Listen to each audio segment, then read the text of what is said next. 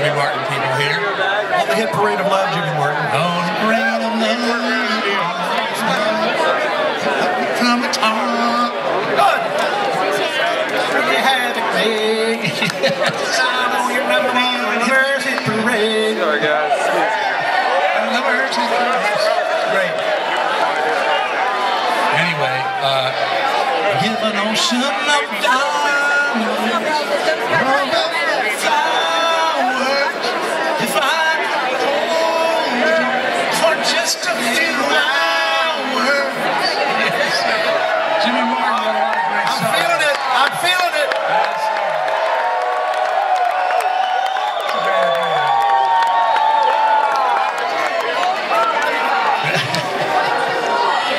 Charlie Haden, the great jazz bass player, uh, made a great made a great record at Ricky's studio in Tennessee, Hendersonville, Tennessee, and uh, a bunch of great artists were on it. And uh, we recorded a song, old Jimmy Martin song, and kind of turned it sideways. So uh, since it was a bass player's record, the great Charlie Haden, we're going to let Scott Mulvahill play a little bass for y'all and lead us into this next song. 2020 Vision and Walking Around Blind.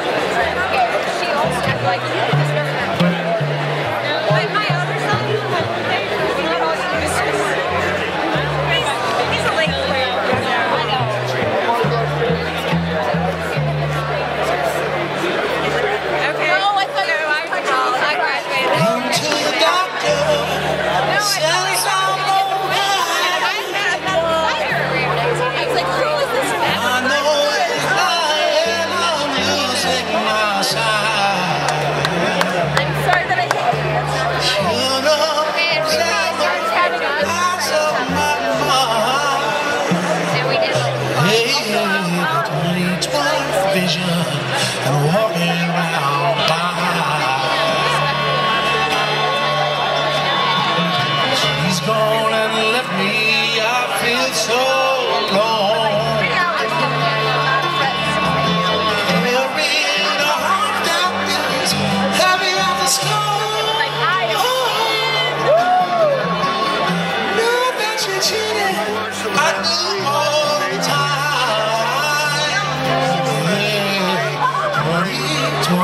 and walking.